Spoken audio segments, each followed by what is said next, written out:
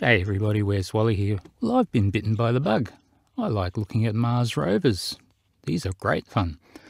So while I was trying to put together another big pano, I was getting a bit confused because all of a sudden I couldn't find where the rest of these things were going and then all of a sudden I realised, no, this isn't a panorama, it's a mosaic.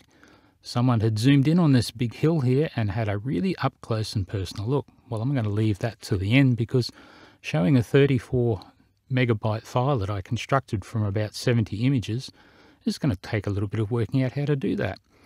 And wouldn't you know it, I was just poking around on the NASA website and I found that someone over there had put together the mosaic as well. So it seems like I got it pretty right. But of course theirs is only 1k by 1k and mine is about five or six times that size. But before I do that, I was going to talk about this rover. You might have thought I was talking about Perseverance, but no, I'm actually talking about Curiosity. I got curious. What's Curiosity up to? It's still going.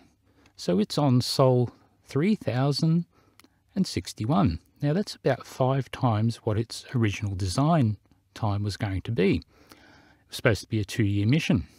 Wow. These things just keep going. So Let's hope Ingenuity, the uh, little helicopter, has a similar sort of life and be flying around for quite some time. Really going to hurt some flatties, that one. Yes, yeah, so Curiosity, 3,061 sols. It's done nearly 25 kilometres.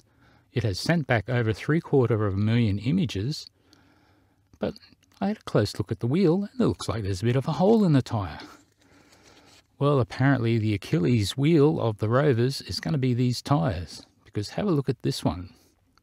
These treads are starting to wear and snap a little bit. The surface of Mars must be rough, really rough. Well, okay, guys, I'm going to go and have a look and see if Adam's popped up something stupid.